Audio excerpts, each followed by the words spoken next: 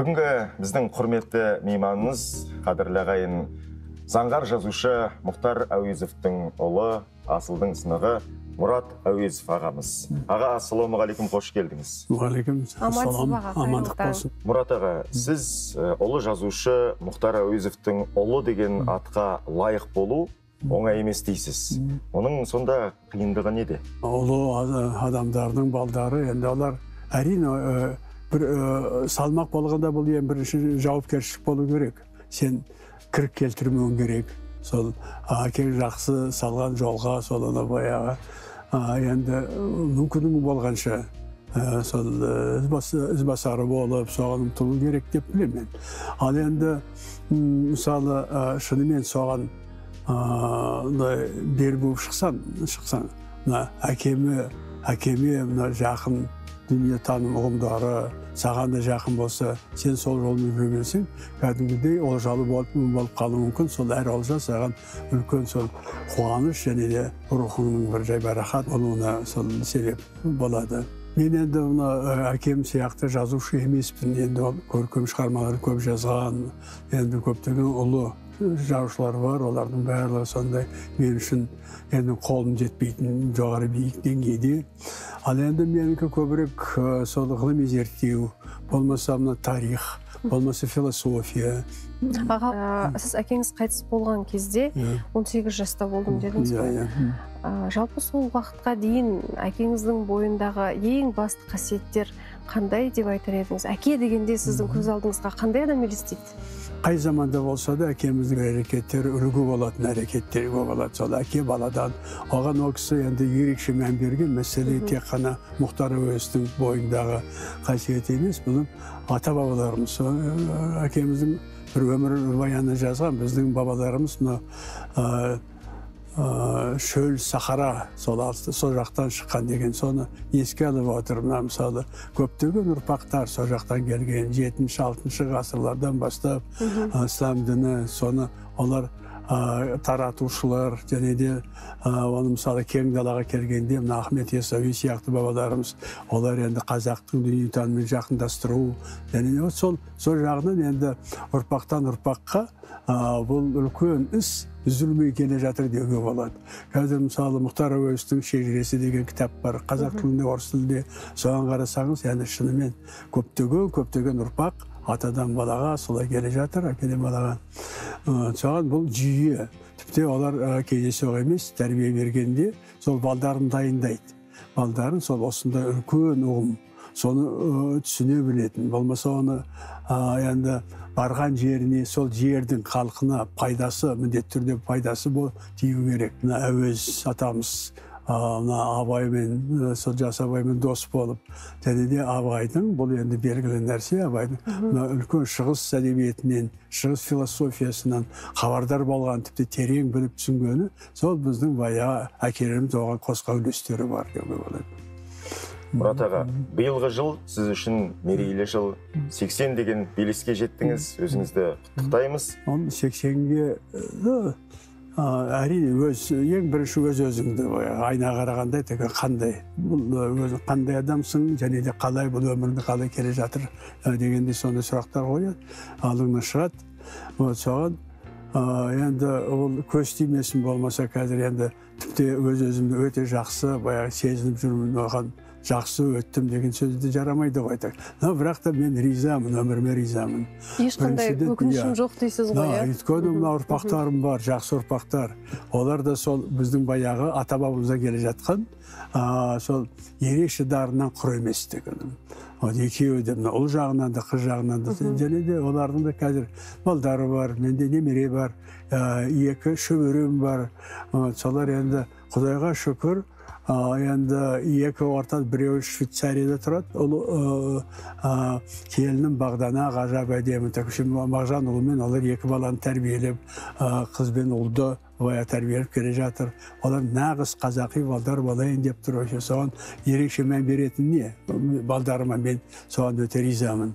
Әсіресе қызым зифа ол енді түрк танушы араб танушы махмуд қажғаридің дивани лұғат ат түрк деген ұлы еңбегін ол аударған араб тілін өте жақсы біледі көп тілдерді енді және де сол күйеу баламызды так ол мына мұхтар голланд жігіті бірақ қазақшаға судай оған таң қалдырады. Осында келгенде мысалы жүргенде қазақшасы күшті.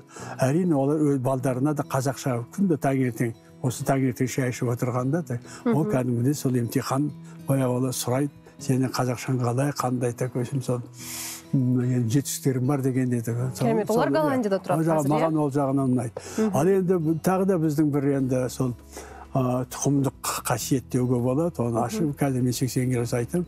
Біз енді ә, сол ә, өзім де бала кезімнен жас кезімнен жас тұлпар ұйымын құрған кезіміз сол, сол әкеміз қайтыс болды сексен алпыс бірінші жылы алпыс үшінші жылы біз жас тұлпар деген ұйым құрғанбыз бейрәсім қазақтардың жастары. Ол, мәскеуде болдық содан кейін кең қанатын жайып сол осы күнге дейін жас бұлтарықтар өздерінің көп азаматтық ісін олай атқарып келе жатыр. Демек мына азаматтық сана сезім бойымызда бар. Соған қуанып отырмын менде жарайды. Енді әкем саналы түрде оған тәрбие ол табиғатқа шығарады. Ол мені мысалы саяпай қаралаев манас жолы манасшы қырғыздың көл ыстықкөлдің жағасына апарып арнайы мені інім ернар екеумізді соған сол қырғыздың баяғы ұлы манасын біліңдер деген ниетпен ы, сол түркшілдік сезім және дегенге оның барлығы бар. А енді бірақ менің балдарым соны қалай іліп алып сол болашаққа апаратыны мен қайран қаламын да қуанамын оған. Мұрат аға сізді кездесулерге көп шақырады.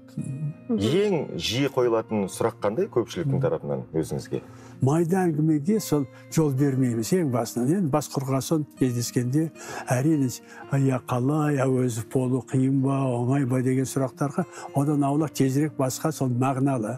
Мысалы ә, жастардың рухы дүниетаным тағы басқа ұлт деген не халық деген не шындық деген не ақиқат деген не тағы басқа осындай тереңдете береміз онсыз болмайды. Біздің бабаларымыз ылғи да сол ұлы қазақтың ұлы батырлары ойшылардың қасынан табыла берген.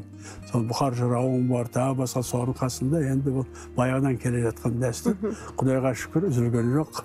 Келе жатыр деп жалғасып келе жатыр. Мұрат аға біздің ә, тәуелсіздік алғанымызға енді 30 жылдан асып келе жатыр ғой. Сіз оған дейінгі кезеңді де білесіз бүгінгі күнді де біліп жатырсыз. Қоғамда мемлекетте ә, неше түрлі өзгерістер болып жатқанын көріп жатқан шығарсыз. Жалпы бүгінгі таңда сізді қандай мәселелер толғандырады? Біздің қоғамда біздің елімізде? Жоқ оған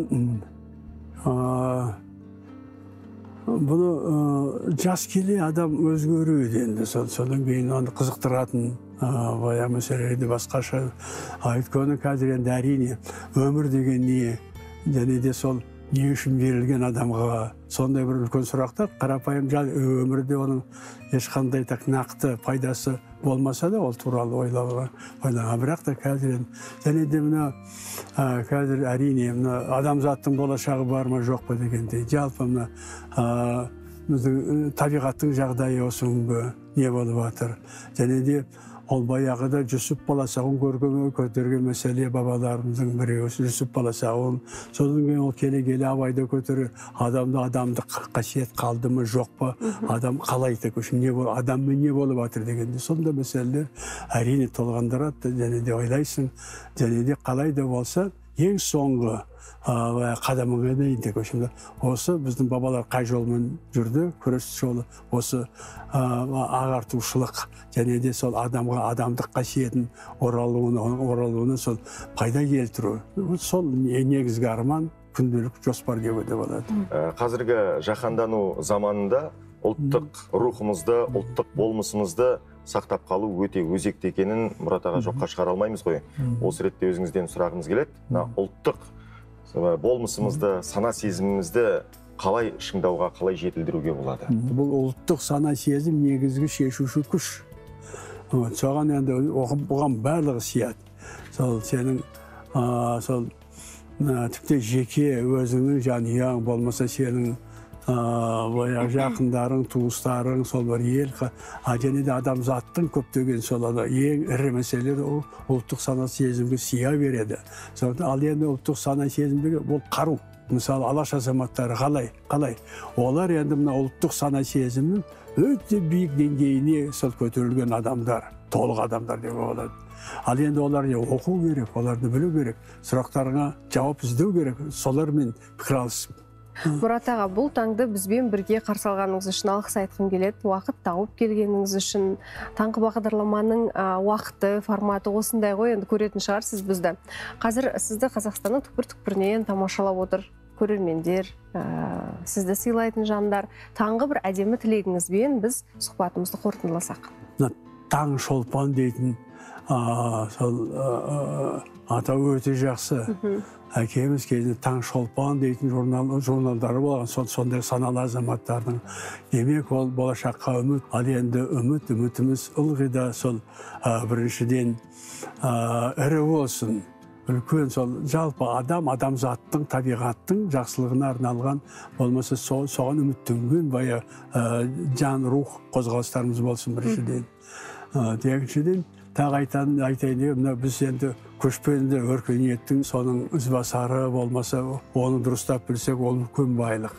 Және біз ол, бізді әр баяғы басқа неден жат жүйеден санамызды бәрін сақтай білетін. Сондықтан өзіміздің халқы шой көшпенді халқымыздың сол тағдырын еш уақытта ұмытпау керек. Өйткені қиын кездер болды. Әр қазақ өте сапалы болу керек. Өте сапалы болу керек. Көп рахмет мұрат аға. Қымбатты көрермен бүгін біздің студиямызда қонақта болған мұрат әуезов ағамыз. Ұлттық арнадан ұзап кетпеңіздер.